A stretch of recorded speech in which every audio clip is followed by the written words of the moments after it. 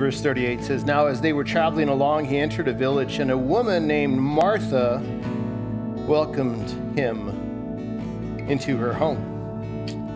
She had a sister called Mary who had who was seated at the Lord's feet listening to his word. But Martha was distracted. Think about this is a famous uh, scene involving these sisters, and Mary chooses to sit at the feet of Jesus, but Martha is distracted. Uh, you know, we can get distracted, can't we?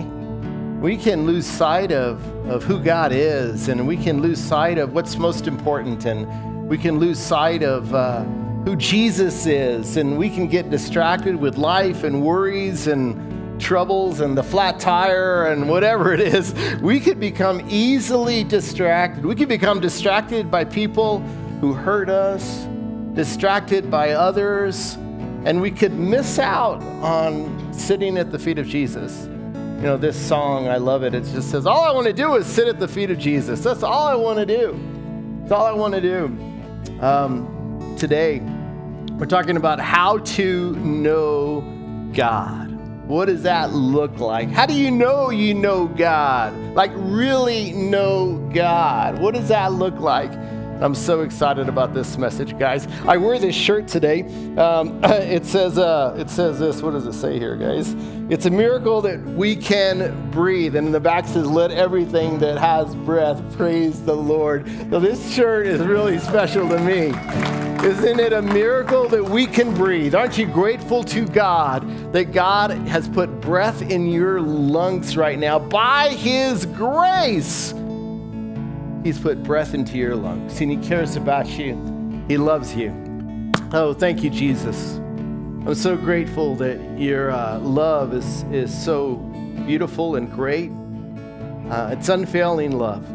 It's a love that doesn't walk out and it's a love that never gives up. And I'm grateful that your love will reach us wherever we're at. Whatever dark place we're at, your love can reach us. Whatever place of hurt we're at, your love can reach us. I'm grateful, God, that you're a God of new beginnings. I'm grateful nothing is impossible for you. And right now, we just, together, we just say we need you, Jesus. Move in every heart, in the heart of every person who's watching this online and in the heart of every person who's in the house. Have your way. And would you just tell God, God, change my heart? Make that your prayer. Tell him, God, I want to know you. I want to know you at a deeper level. Make that your prayer. Change me. Thank you, Lord. It's in your name, Jesus, we pray. Amen. Amen. Before you sit down, turn to the person next to you and just tell them God loves you. Can you do that? Tell them God loves you. Then you can have a, have a seat. Thank you, worship team, for leading us in worship. It's always good to just worship. Oh, it's so good. I'm excited about this message. Anybody excited about this brand new series called How?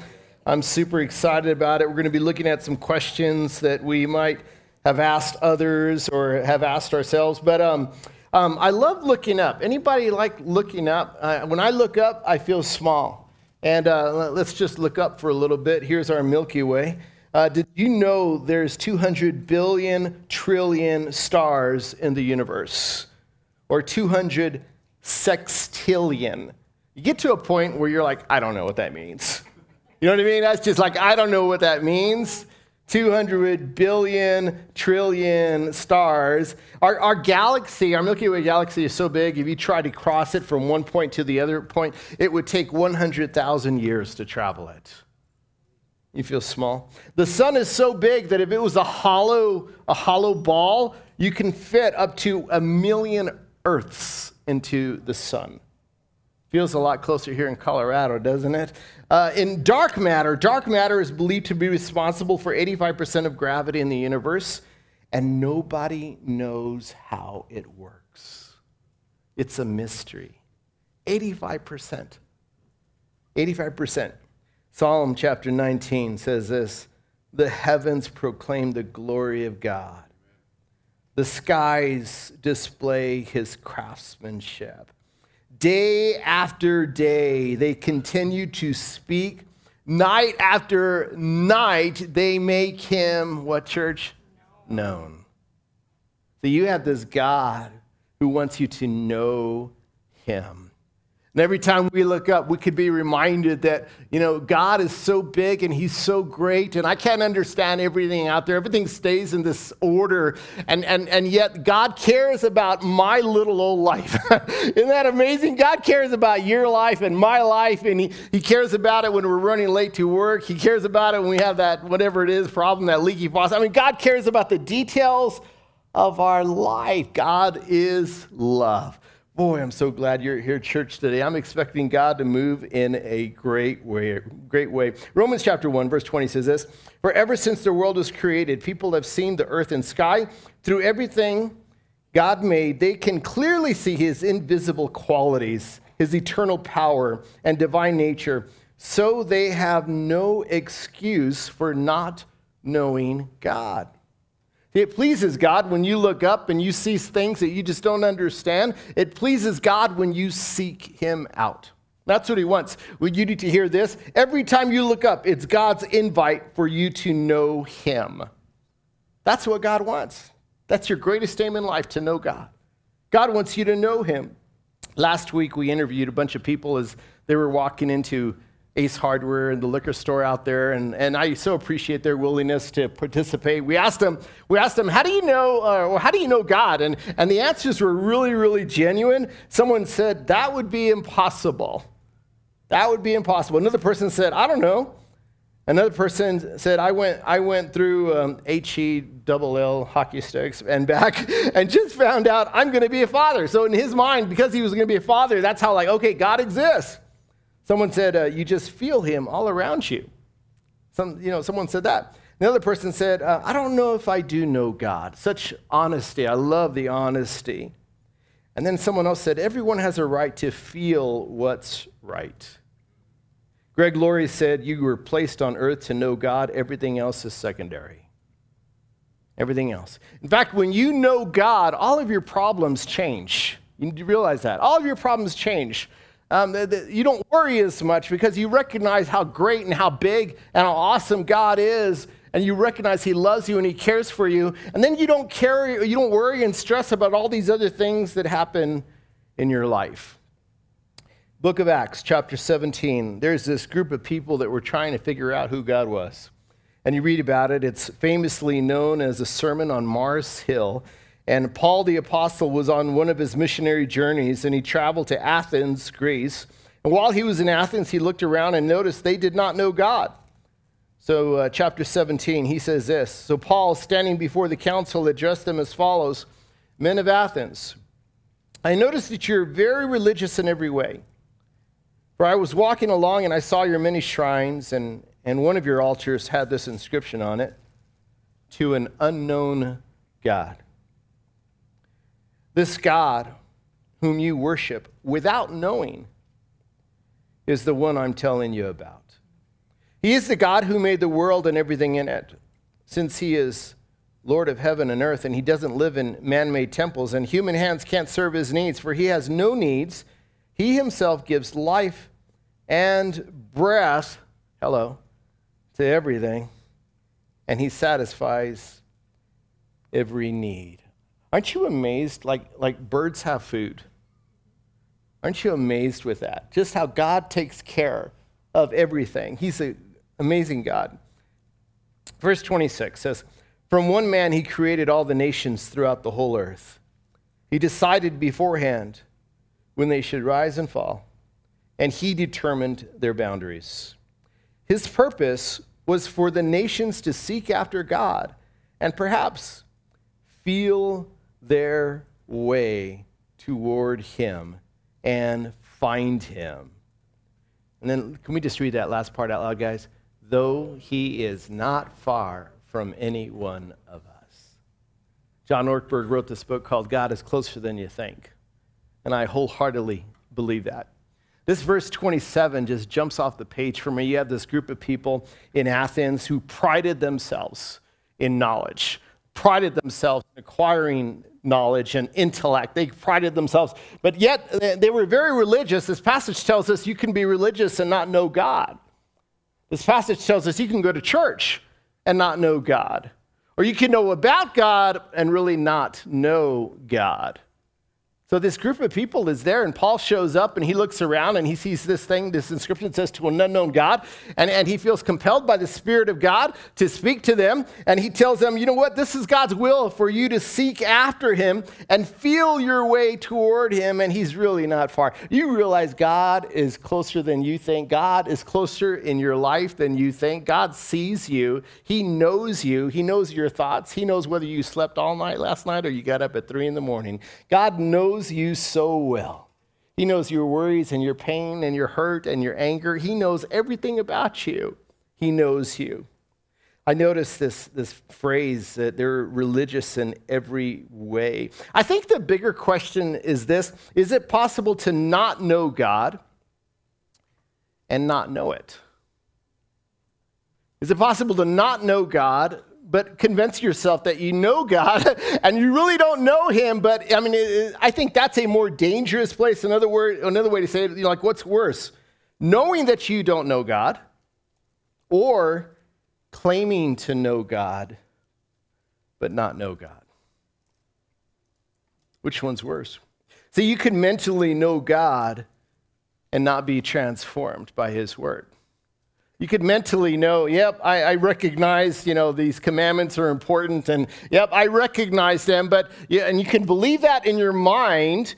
You can intellectually say, I agree with that. I, I do believe there's a God of the heavens. I do believe that the stars are created. I do believe that God has given me breath. And we could know that mentally and, and our own life not be changed by that reality. We can go to church and sing incredible worship songs about amazing grace or how great thou art or, or whatever song it is that we sing. And you can sing, sing all these words and sing all these lyrics, but it may not really change your heart. So we can know God mentally, but on a personal level, be unchanged. We can do that. We can do that. This phrase, how you feel God. You know, I think a lot of us, and when you when you think about how do you know God, and or how do you know His presence? Sometimes we might think, well, I was on a hike in the mountains, and while I was on the hike in the mountains, there was this cool breeze that came across my way, and I just felt God. You know, we have these little moments where we think, oh, that was God. Or I was listening in the car and, and this song came on and I loved this song and I got emotional and teary eyed and that was just God in there. Really? Or maybe you were watching a movie and it was a good chick flick, whatever it was, and you were watching it and you just started, in one moment you got emotional and you thought, oh, God met with me in that movie right there. And, and uh, you know, and that I just, you know, God just visited with me. Sometimes we can convince ourselves that knowing God is some sort of mystical experience where our senses are heightened to what it might be kind of thing. So, so knowing God can be very subjective. In fact, if I say who God is, let's just pretend for a little bit. If I determine who God is, then I can do some wonderful things. Then I will always find a God who agrees with me. You hear that?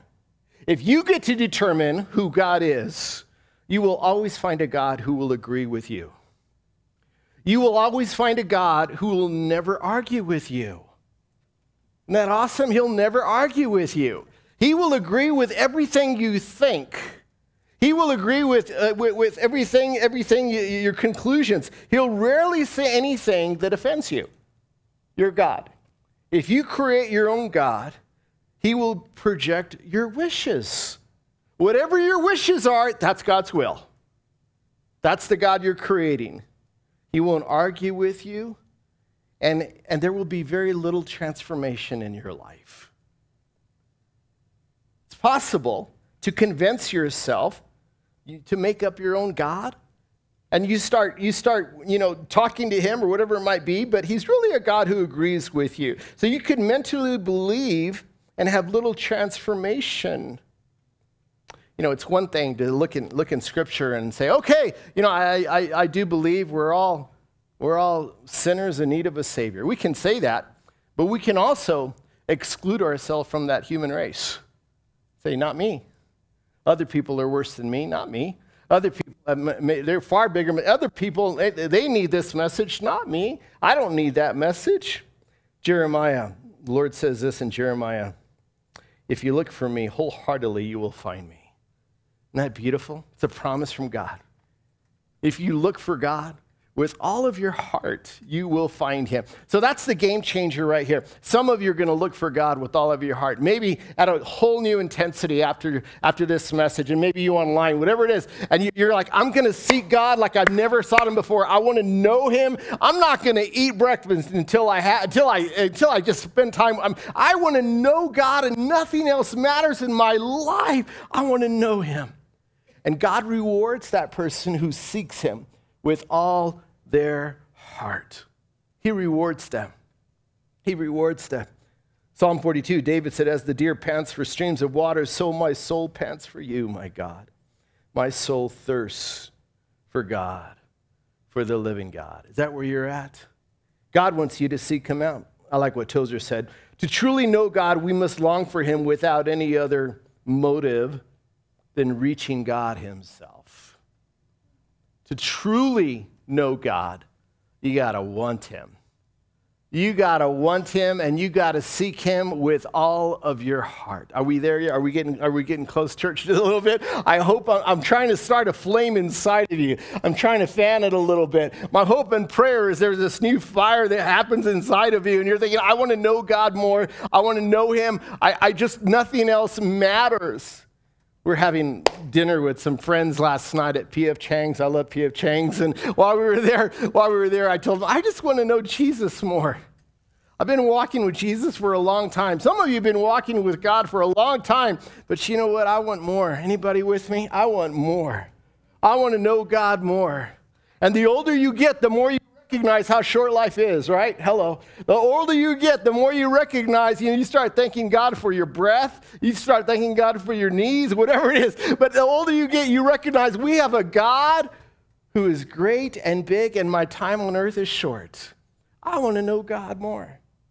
I want to know God more. Let's look at Jesus, because if you want to know God, you got to look at Jesus. Hebrews chapter 1 it says, Long ago, God spoke many times and in many ways to our ancestors through the prophets.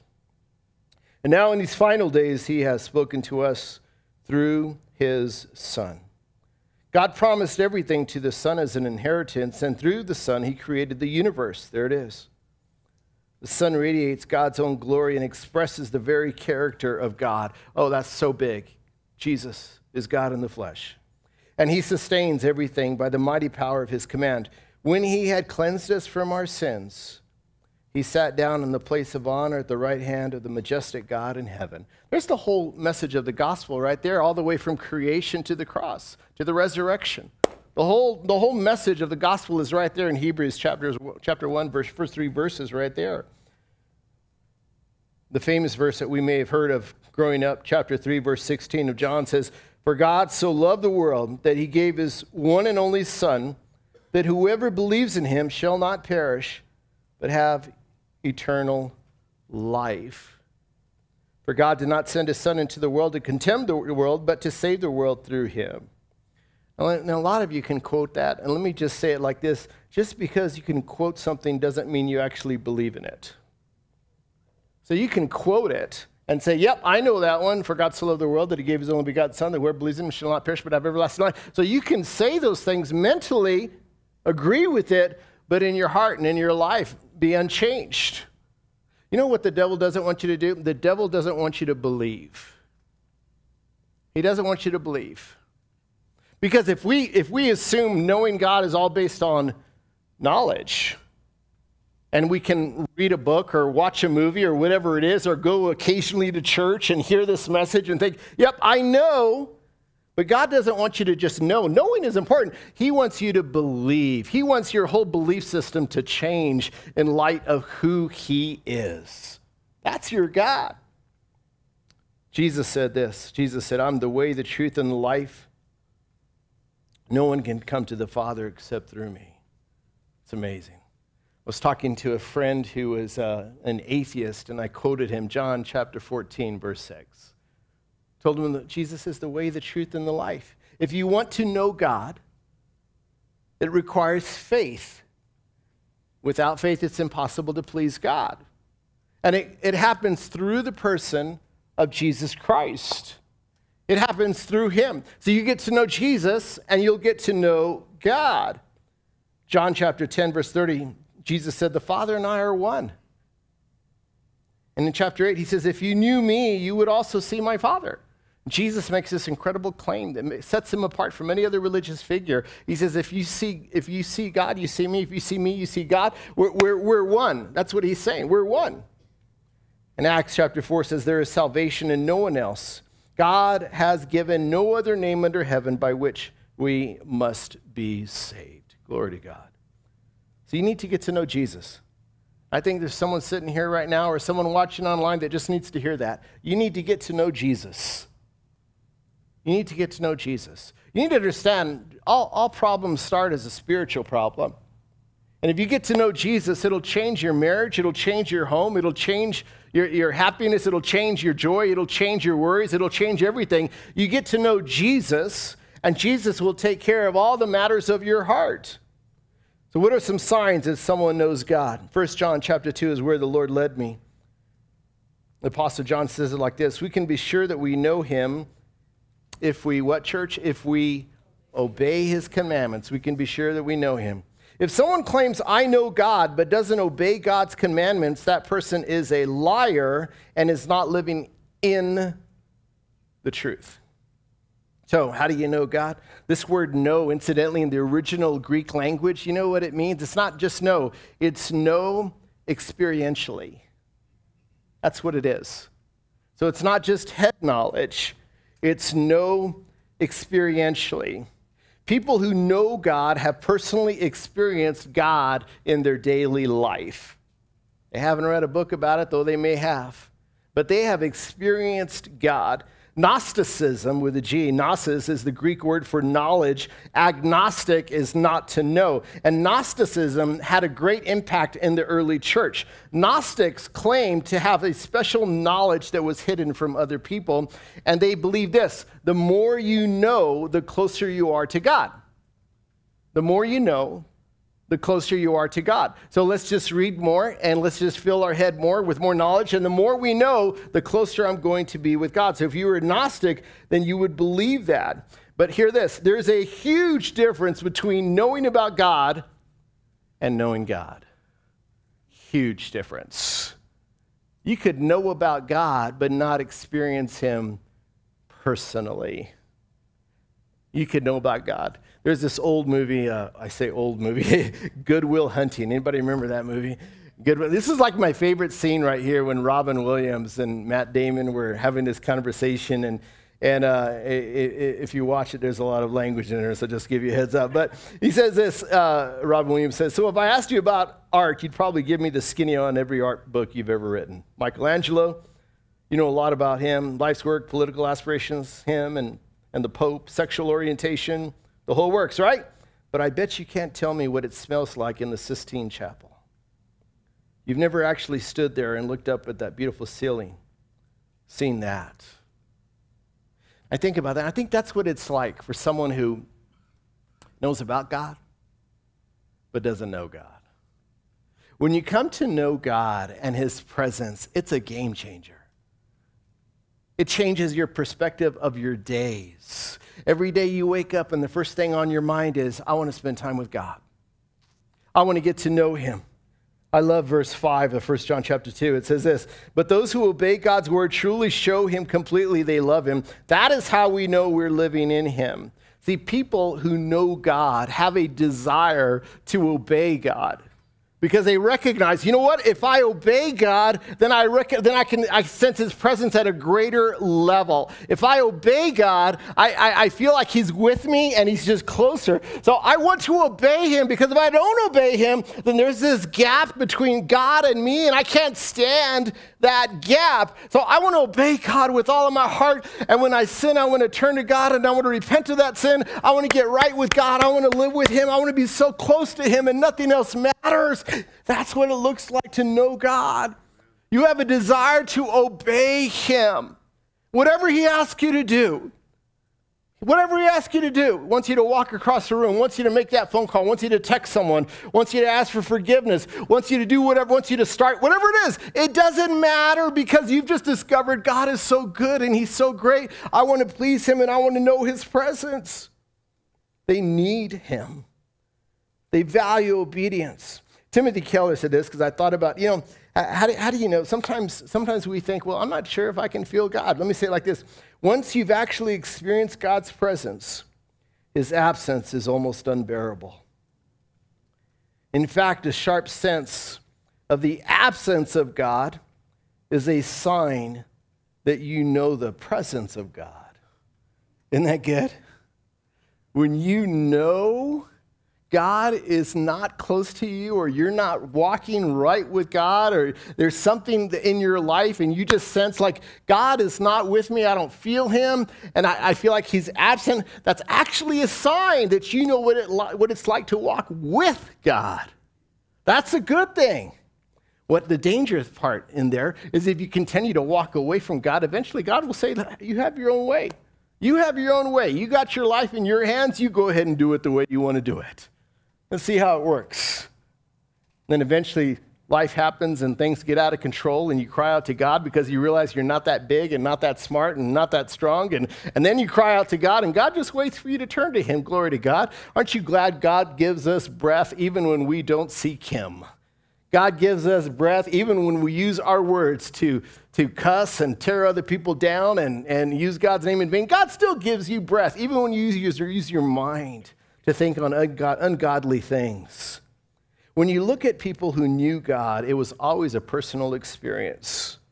They discovered obedience to God equals more of his presence. 2 Timothy says all scripture is inspired by God and is useful to teach us what is true and make us realize what is wrong in our lives. It corrects us when we are wrong and teaches us to do what is right. I like what this one scholar said study the Bible to know about God obey the Bible to really know God. And that's it. I mean, you can read this and say, yeah, this is good, and I don't like this, and yeah, this, I don't agree with this one, and I don't. But if you say, you know what, God, I'm going to take your word to heart, I'm going to spend time, I'm going to meditate on your word, and you start speaking to God, and God speaks to your heart, and then you exercise, you start being obedient to what God is telling you, and, and, and that, that obedience is increasingly greater in your life, all of a sudden you're going to get to know God at another level. God wants you to know Him, God wants you to trust Him, God wants to show you how big He is. God wants you to know that He's a great God. First Thessalonians says this. And let's just, this is a great verse to memorize, guys. So let's just read it together. First Thessalonians chapter 3, 5, 17, 17 says this. Never stop praying. Isn't that good? Never stop praying. Old King James says, pray unceasingly. Never stop praying. God wants you to talk to Him all the time. And it makes sense, doesn't it? People who know God love talking to God, they talk to Him all the time. And it, it makes sense because if you, if you really know God, you have a desire to talk to Him. It's a communi- it's communication. God, I'm going to talk to you. Okay, God, I want to listen to what you're going to say in my life as well. I'm not just going to tell you all my wants. I'm not just going to tell you what I want you to do, God. I'm going to talk to you, but I'm also going to open my ears and keep my mouth shut, and I'm going to listen to what you say, God. And I want to talk to you in the morning, and I want to talk to you in the car. I want to talk to you all the time. People who really know God love talking to God. That's a sign that somebody really knows God. They love praying all the time because they know God. It's a relational thing. They have this relationship with God. They can't stand the idea of God's absence in their life. They need to hear from God. Oswald Chambers says, We look upon prayer as simple as a means of getting things for ourselves, but the biblical purpose of prayer is that we, get, is that we may get to know God Himself. So you talk to God and you listen. It might be hard for some of us. You talk to God and you listen and you say, God, what do you want to tell me? I don't want to just tell you what I think everything is wrong, what every people, everyone else is doing wrong, or all these. God, I want you to speak to me, God. Speak, Lord, your servant is listening. and I want to obey. It's a relationship, it's a personal experience. I can't go. I get out of bed, I got to get on my knees and I got to talk to my God. Anybody with me? And throughout the day, it's like, I got to talk to my God. I, before I look at social media, I got to talk to my God. Before I jump, before I fill my head with all the distractions of the world, I got to talk to my God. And so many times we just have it backwards. And when we go through problems in life, we try to fix the problems ourselves or whatever it is, but rarely do we go to God first. Husbands, don't go to your wife first, go to God first. Wives, don't go to your husband first, go to God first. Friends, don't go to your friend first, go to God first. God wants you to talk to him. He wants you to learn to hear his voice. He wants you to be obedient. God, knowing God always means talking to him and listening to him. Verse 6 says, Those who say they live in God should live their lives as Jesus did. So there's evidence of someone who knows God because the way they live is different. The words that they come out, come out of their mouth is just different. Everything about them is different. A few years ago, uh, my family and I, we took a vacation to the Bahamas. Anybody been in the Bahamas? one of the things you first realize is everybody drives on the left side of the road in the Bahamas. They all driving. I wasn't driving around, but I thought I might get confused driving around the Bahamas on the left side of the road. But yeah, they do that. And, and you know why they do that? It's because in England, they drive on the left. And when, when the British colonized the Bahamas, they wanted people to drive like they do in London drive like the Queen. So everybody drives on the left in the Bahamas because they drive on the left in, in Britain. That's why they drive. See, people who know God drive on the wrong side of the road. you know that? Let's put it this way your life should look different because it resembles your King, King Jesus. And you're in this world right now, and everybody drives on this side, but you drive on the other side because you're not of this world and you know your God. And your standards are different from the world's standards. Your values are different from the world values. You just walk to a different beat. You drive on the wrong side of the road. It's because of your king. And the way you live your life reflects your king. And he is the one you value. He is the one you spend time with when you have coffee in the morning. He's the one you spend time with at night. He's the one that you talk to throughout the day. He's the one that, that just is with you all the time. You ever talk to God when you're in your car out loud? You ever done that? You ever just, you know, you know, I do that all the time. Sometimes I'm at home and I find myself talking to God all the time, and, and, and, and my, my wife or my kids would be saying, What? What? What? What are you saying? I, I wasn't talking to you. I'm sorry. I was talking to my God. I need to talk to my God. Verse 7 says this. Here's John helping us out. Dear brothers, I'm not writing a new commandment for you, rather, it's an old one.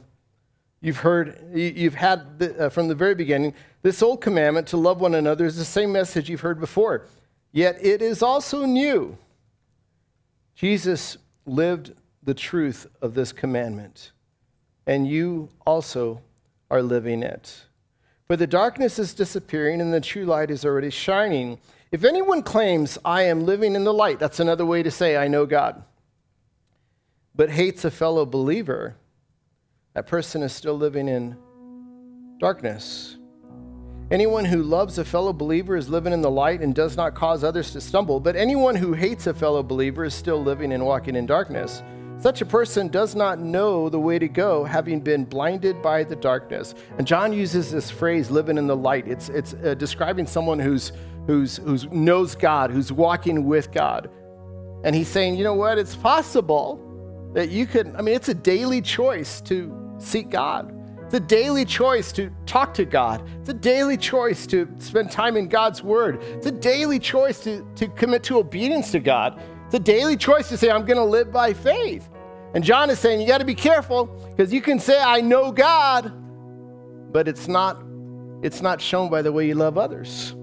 So you can fool yourself and say, I know God, but if you hate your brother, you're a liar. You can fool yourself and say, I know God, but if you hate your sister, you're a liar. Because the more you know God, It changes your relationships. You love your enemies. You pray for them. You love those who've crossed you. You love those who slandered you. You just pray for them and you recognize it's a soul issue, it's a spiritual issue. And John is warning us. He's saying, look, you know what? If you really know God, then the way you love others, the way you treat others is evidence that you know God. And the less you love, the less you know God. People who know God have an increasing capacity to love people. It's because they know the God of love, the God of love, and lives inside of them. Jesus lives inside of them. And because Jesus lives inside of them, they don't hold grudges. They don't let things get under their skin. They trust the Lord. They seek God. They walk differently. And they know Jesus, and that's all they that's all they know, and that's all they need to know, and everything else, everything else just kind of falls to the side because they realize all I need to know is Jesus. It's all about Jesus. Right? If I if I if Jesus just I want I want more of Jesus in my heart. I want more of him in my life. And I want to, I want to talk to him more. And, and you have that heart, and God will reward you with his presence, and he'll show you what it looks like to walk with him and know him. I'm so excited, guys, about something we're going to be doing because it's about loving others. Hope Week. This is something we've not done, guys, ever in the life of ThornCreek in 19 years. Uh, it's going to be September 18 through 24. September 18 is a Sunday. And for seven days, we're going to just love on people outside of these walls. On Sunday, we're going to go down in the Renaissance apartments on that Sunday. You might want to take a picture of this, guys, because these are things we're going to do. On Sunday, we're going to go to the Renaissance apartment. This, this is an apartment complex on 88th Street. It's kind of like little Chicago in South Thornton. That's what it is. And uh, the, these are people that we feed. Every November, we feed 5,000 people with Food for Hope. And, and this time we're going to go there and we're going to feed everyone. We're going to do burgers and dogs. And we're going to play games with, their, with them. And a lot of people that live there are coming out of homeless situations, coming off the streets, and they're trying to get on their feet. And, and, and, and you know what it's like to need a second chance, don't you? I know what it's like. We all need a second chance. We all need the grace of God. It doesn't matter who you are or where you live or what subdivision or whether you live in whatever. It doesn't matter. It doesn't matter what color skin you are. It doesn't matter. We all need the grace of God. We're all made in the image of God. On Monday, it's the Refined program. That's a, we're going to take a class on, on uh, how to minister to victims of sex trafficking. That's what's happening on Monday. Tuesday, it's an urban farm providing community and education for urban youth through farming. Isn't that cool? Wednesday is Hope House, programs and housing for teen moms. And third way is housing for troubled teens. And on Thursday, Beyond Home, programs for families coming out of homelessness. That's Thursday. Friday is going to be Synergy Village, programs and housing for people coming out of homelessness. And Saturday, we're going to clean our two streets that we've adopted on Washington, over there between 136 and 144th, and then on Colorado between Washington and York Street, right around there. We're going to just walk that and clean those streets. I want to encourage you to be a part of that. Put it on your calendar and participate in as much as you can. We're going to do this back to back for seven days. It's going to be a lot of fun. So I want to give you a QR code. Here it is. This is what you can take a picture of. So I hope you get out your phone, take a picture of this, and sign up for something. I love the fact seeing you guys pull out your phones. Some of you not pulling out your phones. If you don't want to pull out your phone, just pull it out and pretend you're taking a picture. And you don't have to do anything. God bless you. God bless you, brother. Yeah, yeah, yeah, yeah. And just be a part of that. Be part of, and, and, you know, loving others. If you know God, you have a desire to serve. If you know God, you have a desire to love. If you know God, you have a desire to talk to Him. You have a desire to be here. Hear this knowing Jesus is the greatest joy you will have in your lifetime. Knowing Jesus is the greatest joy you will have in your lifetime. Nothing else matches it. Nothing else matches it. Doesn't matter what, what joy moments you put in, in right there. Knowing Jesus will change your life and nothing else matters. It'll change your face, it'll change your past, your present, and your future. Knowing Jesus is the greatest joy you will ever have. Paul said it like this Yes, everything else is worthless when compared with the infinite value of knowing Christ Jesus, my Lord. For his sake, I have discarded everything else, counting it all as garbage, so that I could gain Christ and become one with Him. I no longer count on my own righteousness through obeying the law. Rather, I become righteous through faith in Christ. For God's way of making us right with Him depends on faith. I want to know Christ. I want to know Christ and experience the mighty power that raised Him from the dead. Do you know God? Do you know God? Now, if you say yes, then the way you love should be evidence of it. Serving should be evidence of it. The way you do your life and, and praying and talking to God and, and, and all those things should be fruit of that decision, meditating on God's word. Knowing God means I'm going to I'm going to walk with God and my greatest desire is to please God. I want to please God. Don't be a people pleaser, be a God pleaser. God wants you to please him. God wants all of your heart. He wants you to walk with him even when it's hard. Even when you're ready to walk away because of whatever, God wants you to learn perseverance, learn endurance, stay in it, stay in the fight. Don't walk away. Keep walking with God. Even if your, your feelings go up and down and your mood changes or whatever valley you're in, you stay hold you hold on. We walk by faith and not by sight. For the just live by what? By by faith. Many you, some of you know the word. The just live by faith. And God wants you to walk with Him and, and, and walk closer to Him. And God wants you to recognize what He's doing. I think one of the most tragic times for me personally is, is, is if God's moving and I don't know it. That's the, I don't want to I don't want to be there. I want to I want to be in the front row. I want to I want to be a part of what God is doing. Don't you want to be a part of what God is doing? God cares about you and he cares about everyone around you. Know God. I want to give you an opportunity to know God. Some of you, maybe your first step is to invite Jesus into your heart. And I, I, want to lead you in a prayer if you give me that honor. I'd like to lead you in a prayer. Others of you, you might consider yourself a Christian. But those people on Mars Hill, they were pretty religious too. You might consider yourself a Christian, but the Pharisees, they knew a lot about the Bible too. They memorized a lot. You might consider yourself a Christian because you grew up in church, but do you know God experientially? And are other people aware that you know God? Is there evidence that you know God?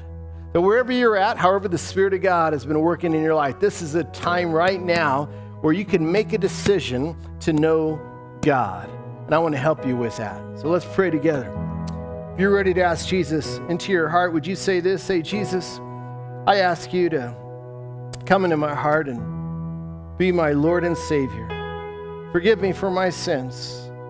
Right now, I, I just turn to you and I ask you to be my Lord and Savior. And I want to become a Christian, be Lord of my past and my present and my future. And I want to walk with you, so teach me how to do that and put your Holy Spirit inside of me so that I know right from wrong. Others of you who may have said, I know God, maybe you need to say this God, forgive me. Forgive me, God. I want to I want to know you, God, at another level. I don't want to just tell you what I want you to do, God. Give me ears to hear your voice in my life. I want to know you relationally. I want to experience you, God. So start that fire inside of my soul. Make it burn again. Make it strong, God. Teach me to walk by faith and teach me to persevere. Teach me to stay strong, God. You are my strength. You are my joy.